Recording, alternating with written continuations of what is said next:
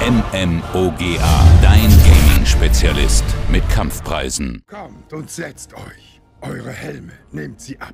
Eure Gesichter zu sehen, ich wünsche. Da gibt es nicht viel zu sehen, Sir. Wir unterscheiden uns kaum voneinander. In die Irre euch die Augen führen in der Macht? Ganz verschieden jeder von euch ist. Reese, immer fixiert auf den Feind du bist. Um Erleuchtung zu erlangen, betrachte dich selbst und jene neben dir. Jack, besorgt um deine Waffen du bist. Waffen gewinnen ein Gefecht nicht.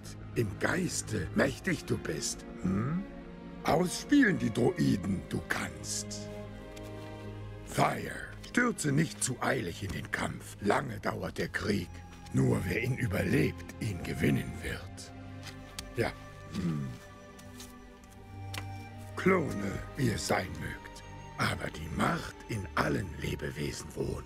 Nutzen ihr sie könnt, um den Geist zu besänftigen. Jo Leute, was geht bei euch und willkommen zum Star Wars Flash. Vor allem in der Serie The Clone Wars sieht man ja, dass Yoda die Klone sehr empathisch behandelt, doch jenes war nicht von Anfang an so, vor allem nicht in Legends. Yoda fand die Umstände, also wie die Jedi die Klone bekommen haben, nicht gut und er sagt auch Dinge wie, sie sind Waffen, die Befehle nicht moralisch hinterfragen, sondern einfach ausführen, jetzt kämpfen sie noch für uns, doch wer weiß, was die Zukunft bringt. Yoda bemängelte, dass die Jedi in einen Krieg gezwungen wurden und zu Kriegsgenerälen wurden in einem Krieg, der die Jedi wohl zerstören wird und so kam es dann auch. Yoda wollte Details herausfinden, was die Erschaffung der Klone betrifft und so weiter und herausfinden, wem die Klone wirklich gehorchten, also wo deren Loyalität wirklich war. Im Prinzip wollte er die Tatsachen über die Inhibitor-Chips herausfinden, ohne zu wissen, dass es eben solche gibt. Denn man muss sich das Ganze ja auch mal vorstellen. Obi-Wan geht nach Camino, weil er einen Fall von dort hat und plötzlich heißt es, dass diese seltsame Kreuzung aus Giraffe und Voldemort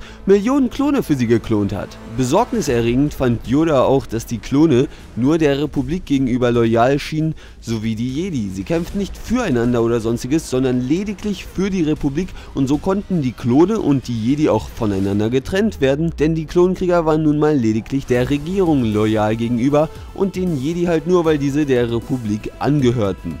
Yoda hatte schon berechtigte Sorgen, denn das hieß ja, wer auch immer die Republik kontrolliert, kontrolliert somit die Klonkrieger. Ach, was laber ich da? Da kann ja gar nichts schief laufen. Andere Jedi waren der Meinung, dass die Klone einzusetzen eine gute Sache sei, denn solange die Jedi der Republik loyal gegenüber sind, solange sind die Klone ihnen auch loyal gegenüber. Super, ne?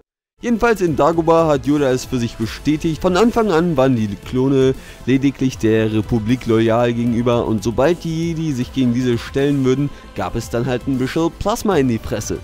Und deswegen mochte Yoda die Klonkrieger anfangs nicht, aber wie ihr in der anfänglichen Szene sehen konntet, freundete er sich immer mehr mit ihnen an, als er auch gesehen hat, dass diese nicht alle komplett gleich sind. Aber er war halt immer skeptisch und hat mehr darüber nachgedacht als der 0815 Jedi, aka der Otto Normalmachtnutzer. Freunde, wenn ihr nicht den Otto Normalpreis beim Suchten zahlen wollt, dann gönnt euch den MMO GA-Link, dort gibt es so ziemlich alles mega stark reduziert, was Spiele und Spielwährungen betrifft. Außerdem misshandelt mal den Abo-Button vom neuen Kanal, checkt den ab, der ist jetzt im Abspann sowie in der Beschreibung. Ein thematisch flexibler Comedy-Kanal, also nicht verpassen. Einschalten, reinhauen und hoffentlich bis zur nächsten Folge im Star Wars Flash.